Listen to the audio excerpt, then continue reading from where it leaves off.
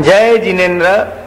પ્રેરણા પ્રકાશન ટ્રસ્ટ રજૂ કરે છે શાંત સુધારસ વ્યાખ્યાન માળા. વ્યાખ્યાન બેતાલીસમું. નવમી નિર્જરા ભાવના વ્યાખ્યાન દસમું. પ્રવચનકાર પૂજ્ય મુનિરાજ શ્રી જીનચંદ્ર વિજયજી મહારાજ, બંધુ ત્રિપુટી, પ્રવચન સ્થળ શ્રી તિરુપતિ જૈન દેરાસરનો વ્યાખ્યાન મંડપ, તિરુપતિ એપાર્ટમેન્ટ, ભુલાભાઈ દેસાઈ રોડ, મુંબઈ છવ્વીસ, પ્રવચન સમય, તારીખ એકવીસ સપ્ટેમ્બર ઓગણીસો સત્યાસી ને સોમવાર સવારે નવ વાગે. તો ચાલો સાંભળીએ શાંત સુધારસની નવમી નિર્જરા ભાવનાનું આ દસમું પ્રવચન. વિનય વિજયજી મહારાજે નિર્જરા ભાવનાની પૂર્ણાહુતિ કરતા બહુ સરસ વાત કરી છે. કર્મ ગદૌષધ મિદમિદમસ્ય ચ જીનપતિ માતમનુપાનમ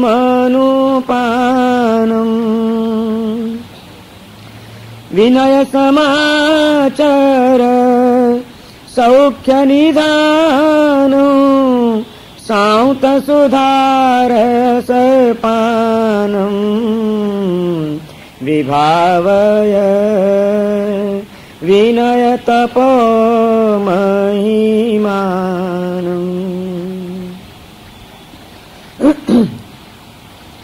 પરમ જ્ઞાની મહોપાધ્યાય વિનય વિજયજી મહારાજ નવમી નિર્જરા ભાવનાની પૂર્ણાહુતિ કરતા એ વાત કહી રહ્યા છે કે અહીં આગળ જે વાત બતાડવામાં આવી છે, આ વાત વિનય વિજયજી મહારાજ કરે છે આપણને, કે આપણી તમામ અશાંતિનું જો કોઈ મૂળ હોય, તો પર એવા કર્મ પરમાણુઓ સાથેનો આપણો પનારો પડેલો છે એ જ છે. આ કર્મ સાથેના સંબંધે આપણા જીવનની અનેક અશાંતિઓનું નિર્માણ કર્યું છે. આ કર્મનો સંબંધ, કર્મનો જે રોગ લાગુ પડ્યો છે, એ રોગ કઈ રીતે દૂર થાય આનો જે રોગ લાગુ પડ્યો છે આપણને, એ રોગ કેવી રીતે દૂર થઈ શકે?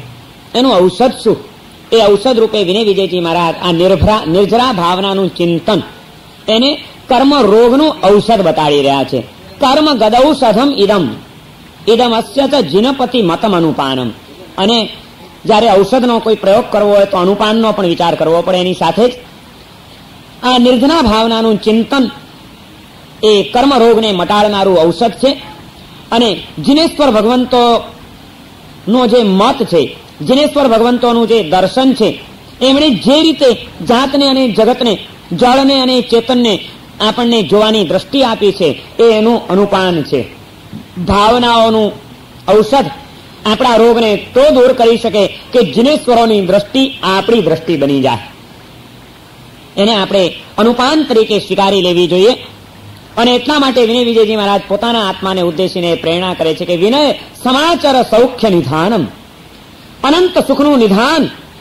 એવું જે આ તત્વ છે, એને તું પકડી લે, એને તું હૃદયની અંદર સ્થિર કરી લે અને આ નિર્જના ભાવનાના ચિંતનથી તું એવો ભાવિત થઈ જા કે જેના કારણે શાંત સુધારસનું પાન તારા માટે સહજ બની જાય અને સુલભ બની જાય.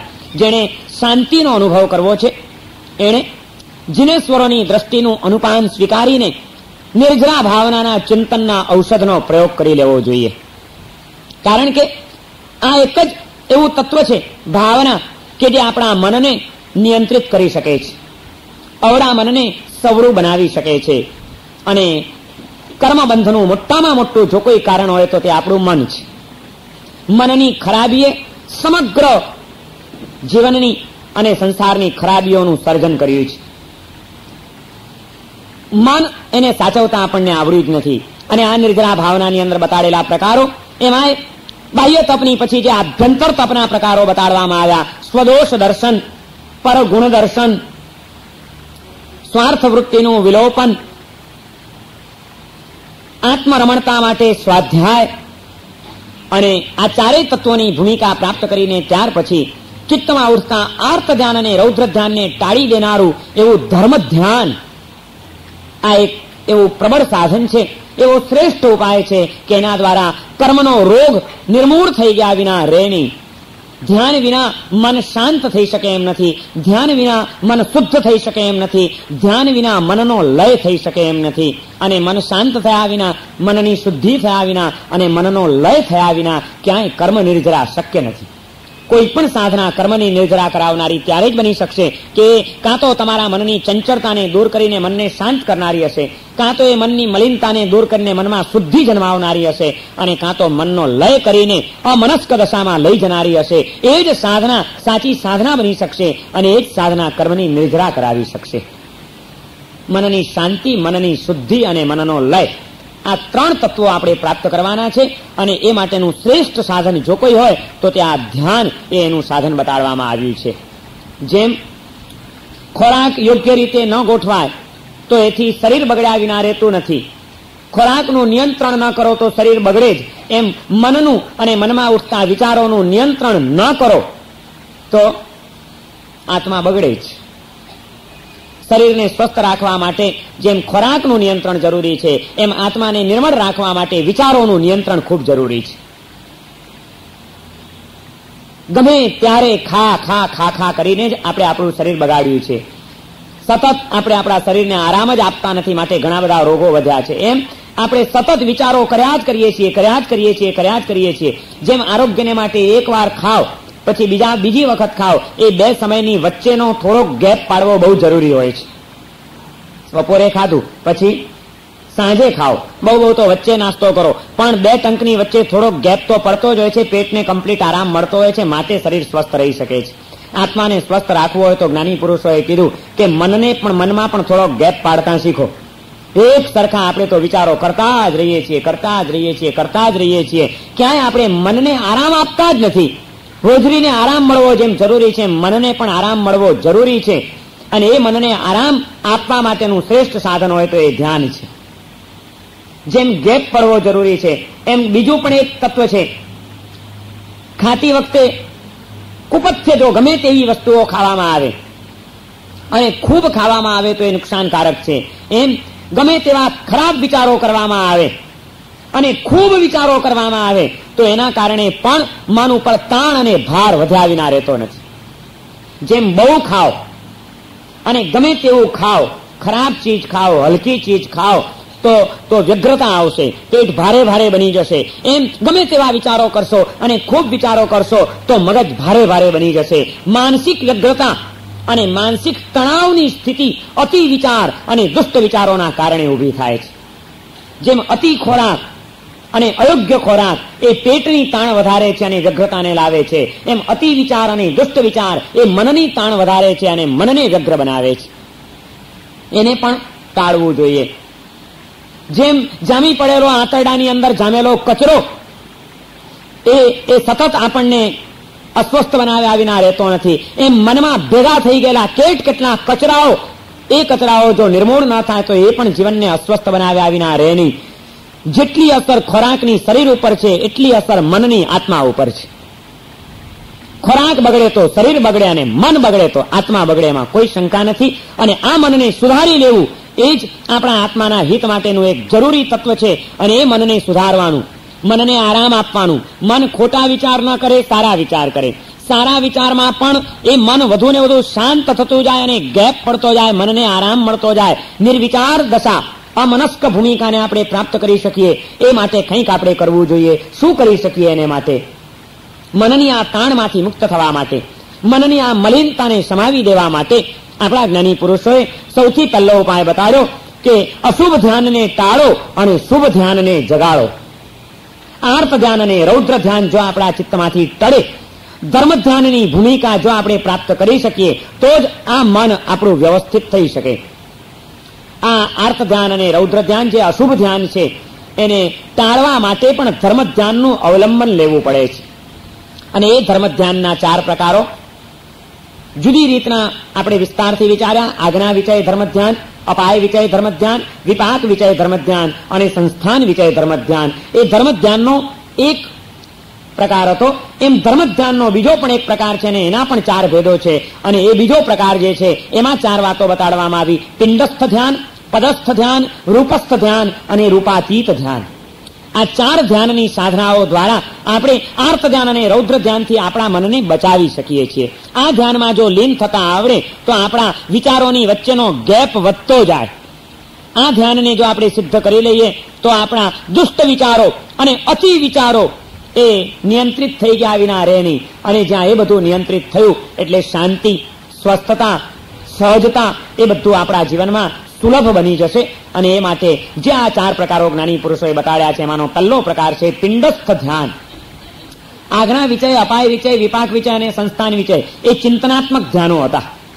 એનું મુખ્ય કેન્દ્ર જો આપણે વિચારશું તો ચિંતન દ્વારા વિચારોને સ્થિર કરવાની એક પ્રક્રિયા હતી. પરંતુ બાહ્ય જીવનમાં પ્રેક્ટિકલ રીતે ધ્યાનનો અભ્યાસ કરવો હોય અને એ દ્વારા મનથી ઉપર ઉઠવાની સિદ્ધિ પ્રાપ્ત કરવી હોય, તો એ માટેના આ ચાર પ્રકારો જ્ઞાની પુરુષે વળી પાછા બીજા બતાવ્યા. અને એનો પહેલો પ્રકાર છે પિંડસ્થ ધ્યાન. પિંડ એટલે આપણું શરીર. અને શરીરમાં ધ્યાનને કેન્દ્રિત કરવું. અને એ રીતે કેન્દ્રિત કરીને એમાં એક એવી લીનતા આવે કે જેના કારણે આપણું ચિત્ત જે અશુદ્ધિઓ પ્રાપ્ત કરી રહ્યું છે, ચિત્તની અશુદ્ધિ એટલે શું છે? કંઈ જ નથી ચિત્તમાં ઉઠતા રાગ અને દ્વેષના તરંગો એનું નામ છે ચિત્તની અશુદ્ધિ કારણ કે રાગ અને દ્વેષના એ તરંગો એ વિચારો આપણા મનને મલિન બનાવે છે ગંદુ બનાવે છે અશુદ્ધ બનાવે છે વિચારોની ઘમસાણ વિચારોનું ઘમસાણ એ ચિત્તની ચંચળતા છે અને વિચારોની અંદર આવતી અશુદ્ધિ રાગદ્વેષનો તરંગ એની મલિનતા છે ચંચળતા અને મલિનતા, ઘમસાણ પણ ટાળવું પડે. અને ભલે ને બહુ વિચારો ન કરો, પણ થોડાક વિચારો જે કરો, એ થોડાક વિચારોમાં પણ જે રાગદ્વેષનું તત્વ ભરેલું પડ્યું છે. એ જ્યાં સુધી ટળે નહીં, ત્યાં સુધી શુદ્ધિ ના આવે. ચંચળતા ટાળીને એકાગ્ર કરવાનું છે મનને, અશુદ્ધિ ટાળીને પવિત્ર બનાવવાનું છે મનને ચંચળતા અને મલિનતા ટળે. એકાગ્રતા અને પવિત્રતા આવે એ ધ્યાનનું પરિણામ છે. ધ્યાન દ્વારા આ વસ્તુ પ્રાપ્ત કરવાની છે અને એ પ્રાપ્ત કરવા માટે પિંડસ્થ ધ્યાન એક અવલંબન છે. પિંડસ્થ ધ્યાન એ પણ એક સાધના છે. એના દ્વારા પ્રાપ્ત કરવાનું જે સાધ્ય છે, એ છે ચિત્તની શુદ્ધિ, ચિત્તની નિર્મળતા, ચિત્તની એકાગ્રતા. અને એ પિંડસ્થ ધ્યાન શરીરનું અવલંબન લઈને કરવાનું છે. શરીરની જે કંઈ પણ પ્રક્રિયાઓ છે, એને આપણે કેન્દ્રમાં રાખીને આ ધ્યાનનો અભ્યાસ કરવાનો છે. આજની પરિભાષામાં કેવું હોય? આજની શૈલીમાં કેવું હોય કે આજના વાતાવરણના સંદર્ભમાં કેવું હોય તો એમ કહી શકાય કે વિપસ્યના ધ્યાન સાધના જે ચાલે છે ઇગતપુરીની અંદર ઘણા બધા ભાઈ બહેનો જતા હોય છે, એ વિપસ્યના ધ્યાન સાધનાનો જે અભ્યાસ છે, એ આ પિંડસ્થ ધ્યાનનો એક પ્રકાર એને કહી શકાય. એ જ પરિપૂર્ણ સાધના નથી. ભગવાન જિનેશ્વર દેવોના તત્વજ્ઞાનના અનુસારે જો ચિંતન કરવું હોય કે વિચાર કરવો હોય તો આ રીતે સાપેક્ષ ભાવે ધ્યાન સાધનાના બીજા પણ જે કોઈ માર્ગો છે, એ બીજા માર્ગોનો અપલાપ કર્યા વિના સાપેક્ષ ભાવે વિપસ્યના ધ્યાન સાધનાને પણ પિંડસ્થ ધ્યાનની અંદર આપણે સમાવી શકીએ એમ છીએ, એ આપણા માટે સ્વીકૃત બની શકે એમ છે. પણ જો એ સાપેક્ષ ભાવની સાધના હોય તો એ જ પરિપૂર્ણ સાધના છે અને એના વિના બીજો કોઈ ચિત્તશુદ્ધિનો ઉપાય નથી. એવું જો કોઈ માનતું હોય, તો ત્યાં જૈન દર્શન સંમત થઈ શકે એમ નથી, કારણ કે ત્યાં આગળ સત્યનો અપલાપ થઈ જાય છે. આ એક સુંદર સાધના છે. બહુ ઉપયોગી સાધન છે. અને એ આજકાલનું નવું નથી. અનંતકાળથી તીર્થંકરોએ પણ પિંડસ્થ ધ્યાન રૂપે એને રજૂ કરેલું છે અને સ્વીકૃત કરેલું છે. એ પિંડસ્થ ધ્યાનનો અભ્યાસ શરીરની દ્રષ્ટિથી કરવાનો છે. કારણ કે આપણે સામાન્યથી અત્યારે આપણી એ પરિસ્થિતિ છે. કે આપણે બહારના કોઈ પણ તત્વોનું દર્શન કરશું, કોઈ પણ સંબંધોનું મૂલ્યાંકન કરશું, તો ત્યાં આગળ અનાધિકારનો એક આપણો એવો સંસ્કાર જોડાઈ ગયો છે કે આપણે કોઈ પણ ચીજનું દર્શન કરીએ છીએ, કોઈ પણ પરિસ્થિતિમાંથી કે તબક્કામાંથી પસાર થઈએ છીએ, તરત જ એ જ ક્ષણે આપણું ચિત્ત કંઈક ગમા અને અણગમાનો સંસ્કાર ત્યાં જાગૃત કરી જ દે છે. રાગ અને દ્વેષ, એનો ભાવ એની સાથે તરત જ જોડાઈ જાય છે કે આ વ્યક્તિ સારી. હજી તો વ્યક્તિ મને દેખાય છે અને તરત જ મારું મન કે આ માણસ સારો. આ આ ગમાણો સંસ્કાર જાગૃત થઈ ગયો. બીજી વ્યક્તિ આવે છે આને તો ઓળખું છું. સાવ નક્કામો માણસ. તરત જ અણગમાનો સંસ્કાર મારો જાગૃત થઈ ગયો. જે કોઈ પણ હું દર્શન કરું છું, તો ત્યાં આગળ રાગ અને દ્વેષની પરિણતિથી રહિત રહીને માત્ર સાક્ષી ભાવે કે દ્રષ્ટા ભાવે કોઈ વ્યક્તિનું, કોઈ વસ્તુનું, કોઈ પરિસ્થિતિનું મૂલ્યાંકન કરવાની આપણી સહજ જે ક્ષમતા છે, એ ક્ષમતા આપણે ગુમાવી દીધી છે. એક ક્ષમતાને પાછી પ્રાદુર્ભૂત કરવાની છે. એને પાછી જગાડવાની છે. એને સિદ્ધ કરવાની છે.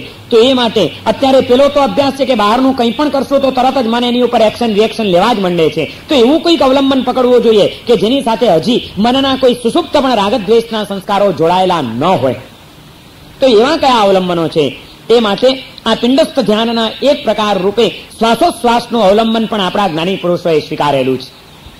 કારણ કે જ્યાં પણ આપણે છીએ ત્યાં આગળ આપણા અસ્તિત્વની સાથે જ શ્વાસોશ્વાસ જોડાયેલા રહેવાના છે. જ્યાં આપણું અસ્તિત્વ છે ત્યાં શ્વાસોશ્વાસ છે નહીં જ્યાં શ્વાસોશ્વાસ છે ત્યાં સુધી આપણું સ્થૂલ આ દેહનું અસ્તિત્વ છે. શરીર બંધ થઈ ગયું ક્યારે કહેવાય? માણસ મરી ગયો ક્યારે કહેવાય? લાગે કે આ માણસ મરી ગયો છે તો સૌથી પહેલું શું જુઓ પછી? ડોક્ટર પણ શું જુએ? એના ફેફસા ધબકે છે કે નહીં? શ્વાસોશ્વાસ ચાલે છે કે નહીં? માણસ નાક આગળ આંગળી મૂકશે, રૂનું પૂમડું મૂકશે ધીમો પણ શ્વાસ ચાલતો હોય તો રૂનું પૂમડું જરાક હલે, જરાક ખસે તો સમજે કે હજી જીવ છે. પણ જ્યાં બિલકુલ શ્વાસ બંધ થઈ ગયા એટલે લીલા સમેટ આવી ગઈ. કામ પૂરું થઈ ગયું. તો જ્યાં આપણું દેહનું અસ્તિત્વ છે, સ્થૂળ અસ્તિત્વ છે, ત્યાં શ્વાસોશ્વાસ જોડાયેલા જ છે. અને એટલા માટે આ એક પિંડસ્થ ધ્યાનનો એક એવો પ્રકાર છે કે તમે કોઈ પણ સ્થળે એ ધ્યાન કરી શકો. રૂપસ્થ ધ્યાન કરવું હશે મૂર્તિનું ધ્યાન, મંદિરનું ધ્યાન, ભગવાનનું ધ્યાન, તો એને માટે તમારી સામે મૂર્તિ જોઈશે, મંદિર જોઈશે, ફોટો જોઈશે, કોઈક અવલંબન જોઈશે. ચોવીસે કલાક, પ્રત્યેક સ્થળે અને પ્રત્યેક પડે તમે આ ધ્યાનનો અભ્યાસ કરી શકો એ શક્ય નથી. કારણ કે બીજા અન્ય ધ્યાનો કંઈક ને કંઈક અવલંબિત છે બીજા તત્વો ઉપર. જ્યારે આ પિંડસ્થ ધ્યાનનો આ એક પ્રકાર એવો છે કે તમે ગમે તે સ્થળે હો, ગમે ત્યાં આવો તે વખતે તમે તમારી સ્થૂલ ચેતનાને સૂક્ષ્મમાં લઈ જઈ શકો. અને એની ઉપર કેન્દ્રિત બનીને તમે રાગદ્વેષની પરિણતિથી મુક્ત બનવાનો અભ્યાસ કરી શકો, એવું સરળ, સહજ અને સુલભ આલંબન જો કોઈ હોય, તો એ આ શ્વાસોશ્વાસનું અવલંબન છે. અને એટલા માટે એને પણ ધ્યાન સાધનાના અભ્યાસ તરીકે આપણે ત્યાં સમજાવવામાં આવ્યું છે કે એની સાથે તમારો કોઈ રાગદ્વેષ જોડાયો નથી. તમે સતત જે શ્વાસ લઈ રહ્યા છો અને શ્વાસ મૂકી રહ્યા છો, આ શ્વાસોશ્વાસની જે ગતિ આપણી ચાલી રહી છે એ શ્વાસને માત્ર જોયા કરવાના કે આ શ્વાસ લીધો. શ્વાસ મૂક્યો. શ્વાસ આવ્યો. શ્વાસ ગયો. અને એ શ્વાસ આવતા જતા શ્વાસ ઉપર ધ્યાન કેન્દ્રિત કરીએ છીએ જ્યારે આપણે. આપણો મનોયોગ જ્યારે એમાં સ્થિર થાય છે, ત્યારે એ મનની બીજી બધી પ્રક્રિયાઓને દોડધામો સ્થગિત થઈ ગયા વિના રહેતી નથી. એટલે બીજી દોડધામો સ્થગિત થઈ ગઈ એટલે એ દોડધામના કારણે ઊભા થતા રાગદ્વેષના સંસ્કારો છે, એ પણ શાંત થઈ જશે. અને જ્યાં રાગદ્વેષ નથી, ત્યાં આગળ કર્મબંધ અટકી જશે. કર્મબંધ અટક્યો એટલે આ સાધના દ્વારા અને ચેતનાની સૂક્ષ્મતા દ્વારા કર્મની નિર્જરા ચાલુ થઈ જશે. પિંડસ્થ ધ્યાન એ આપણને કર્મની નિર્જરા કરાવી શકે છે આ રીતે. કારણ કે આપણને રાગદ્વેષ રહિત પળોમાં સ્થિર રાખવાનો એક મોકો આપે છે, સ્થિર રહેવાનો. શ્વાસની સાથે કોઈ રાગ છે આપણને? કે આ શ્વાસ સારો. આ બે મિનિટ પહેલા શ્વાસ આવ્યો તો એ સારો હતો. આ હમણાં શ્વાસ આવ્યો એ સારો નહીં. આવો કોઈ દિવસ વિચાર આવ્યો છે આપણને? શ્વાસો શ્વાસ સાથે કોઈ રાગદ્વેષ આપણા જોડાયેલા નથી. કારણ કે એ તો એકમાત્ર સહજ આપણી જીવનની ક્રિયા છે અને એને આપણે એટલી સહજતાથી સ્વીકૃત કરી લીધી છે. એની અંદર આપણે કોઈ પણ ગમા અણગમાનો સંસ્કાર કેળવ્યો નથી. માટે ક્રિયા ચાલે છે. એ ક્રિયામાં આપણા મનનો ઉપયોગ પણ છે. અને તે છતાં મનનો ઉપયોગ હોવા છતાં મનની સાથે ત્યાં રાગ અને દ્વેષ જોડાતા નથી. એ ક્રિયાને માત્ર આપણે દ્રષ્ટા બનીને જોઈ રહ્યા છીએ. માત્ર આપણે એના સાક્ષી બની જઈએ છીએ. અને જ્યાં સાક્ષી ભાવ છે, દ્રષ્ટા ભાવ છે, ત્યાં જ વિતરાગતાની સિદ્ધિ છે.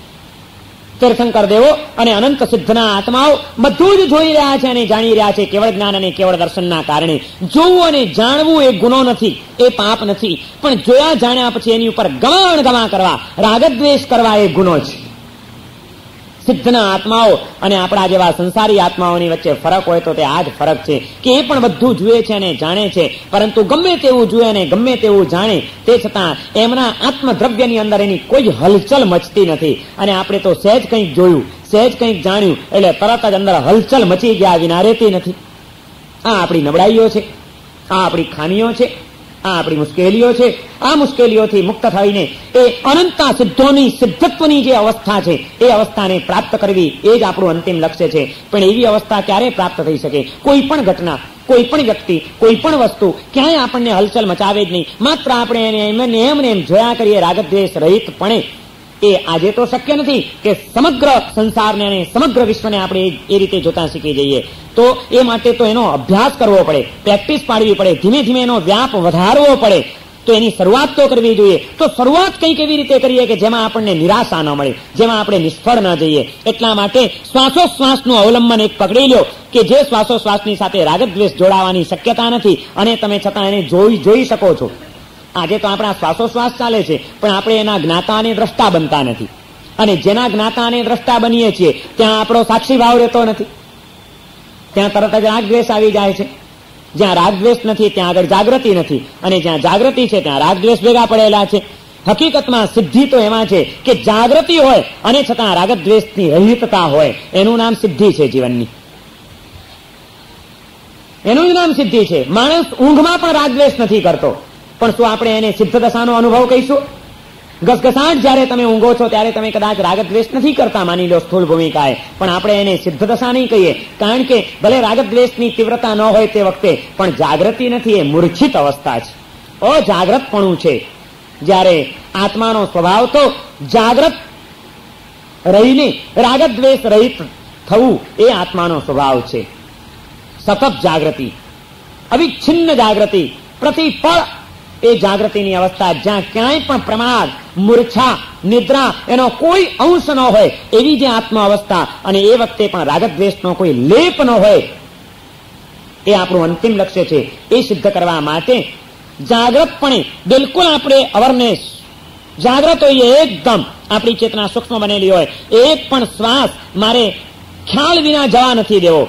કે મારા ખ્યાલ બહાર એક પણ શ્વાસ નીકળી જાય ને ખ્યાલ વિના એક પણ શ્વાસ અંદર ઘૂસી જાય. સતત જોતા રહેવાનું. અને તે છતાં એ જોતા હોઈએ કે આ શ્વાસ આવ્યો, ગયો આવ્યો, ગયો. અને છતાં એની ઉપર કોઈ રાગ નહીં, કોઈ દ્વેષ નહીં. આપણે માત્ર એને જ્ઞાતા બનીએ છીએ. એક ત્રીજી વ્યક્તિ તરીકે આપણે એને માત્ર જોઈ રહ્યા છીએ. અને એ સિદ્ધિ, એક એવી વિરલ સિદ્ધિ છે કે એ અભ્યાસ કેળવાય. પછી ધીમે ધીમે અભ્યાસને વધારવાનો કે શ્વાસોશ્વાસને તો રાગ દ્વેષ વિના જોઈ શકીએ છીએ. હવે શરીરના બીજા અંગોને, બીજી હલચલોને આપણે સાક્ષી ભાવે જોઈ શકીએ. અને એમ કરતા કરતા જયારે આપણી સૂક્ષ્મતા આવતી જાય, ત્યારે પછી ધીમે ધીમે એ સૂક્ષ્મ બનેલી ચેતના પછી શરીરની અંદર ઉઠતી વેદનાઓને પણ આપણે સાક્ષી ભાવે જોતા થઈએ.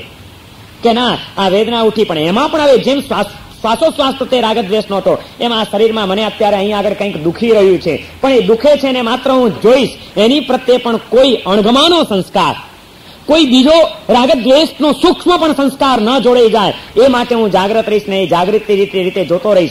ત્યારે વિતરાક દશાની એ ભૂમિકાનું સર્જન થશે. અને એ રીતે શરીરની શ્વાસોશ્વાસની ગતિ, શરીરના સૂક્ષ્મ સ્પંદનો શરીરની અંદર ચાલતી સૂક્ષ્મ ગતિઓ, એ બધાના કારણે પછી શરીરમાં ઉઠતી સાતા અને અસાતાની અનુભૂતિઓ, આ બધાને પણ આપણે સૂક્ષ્મ બનીને એને અનુભવતા શીખવું પડે. અને એ અનુભવતા અનુભવતા અનુભવતા અને સતત આપણી ચેતનાને જાગ્રત રાખતા રાખતા રાખતા કે માત્રમાં હું જ્ઞાતા છું, હું એક દ્રષ્ટા છું, મારે આની અંદર ઇન્વોલ્વ નથી થવાનું.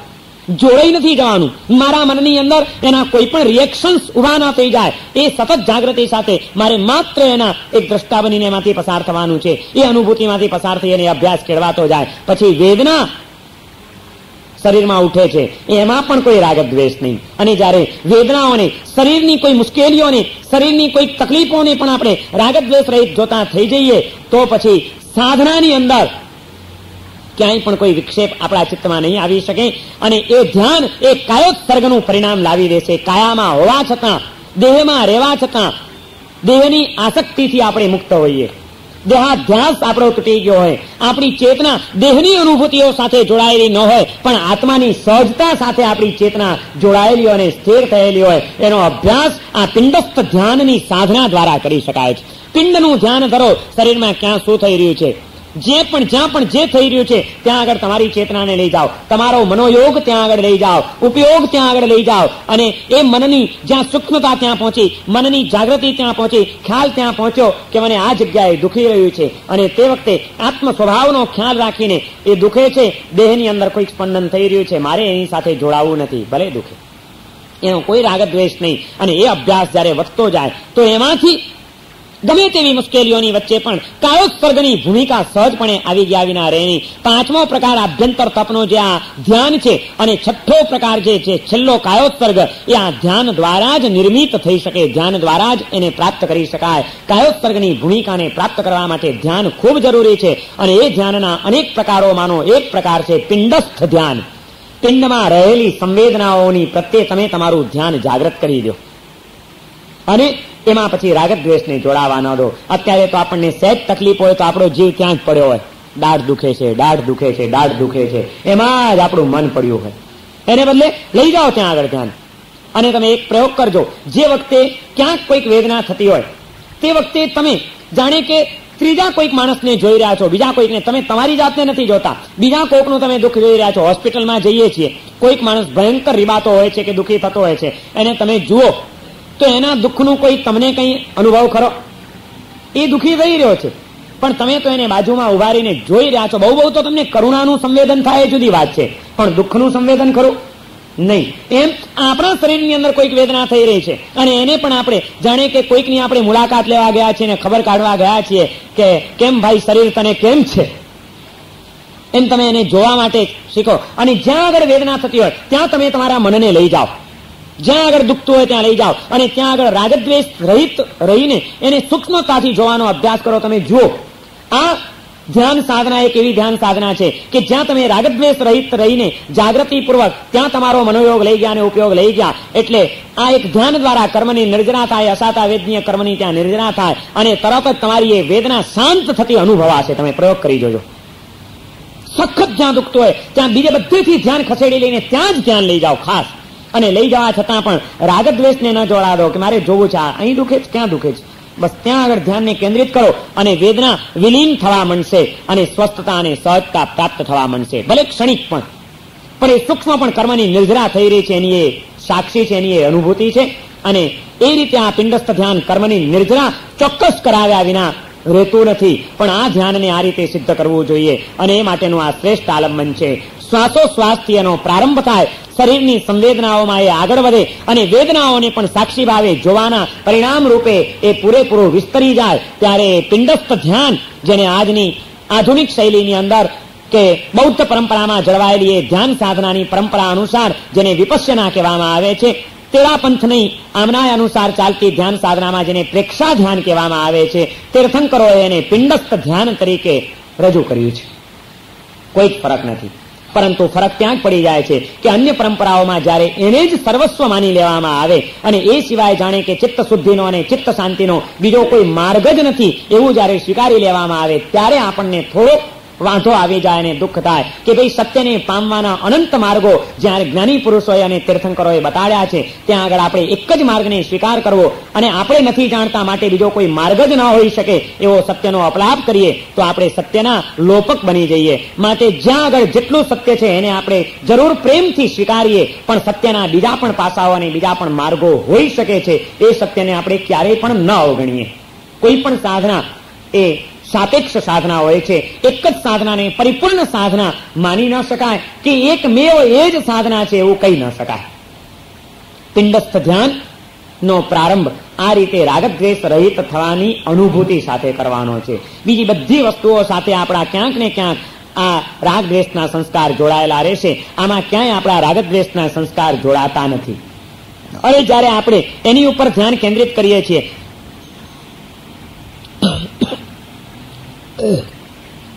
ત્યારે એનું એક પરિણામ આવે છે કે આપણું ચિત્ત ત્રણ જાતની વિચિત્રતાઓથી જે ખરડાયેલું છે એનાથી મુક્ત થઈ જાય છે. તમે સામાન્યથી વિચાર કરજો, આપણા મનનું અન્વેષણ કરજો. આપણું મન ત્રણ રીતે કર્મબંધન કરતું હોય છે. કાં તો ભૂતકાળની સ્મૃતિઓ એના ચિત્તમાં સતત ચાલ્યા કરતી હોય છે. કાં તો ભવિષ્યની ચિંતાઓમાં એ રગડોળાયેલું હોય છે. ભૂતકાળની સ્મૃતિઓ, ભવિષ્યની કલ્પનાઓ, તરંગો આશાઓ કે ચિંતાઓ. અને કાં તો વર્તમાન કાળના ગમાણ ગમાવો. જો એ કાં તો ભૂતકાળની સ્મૃતિઓમાં આળોટ્યા કરતું હોય છે, વર્તમાનની ક્ષણને ગુમાવી દે છે.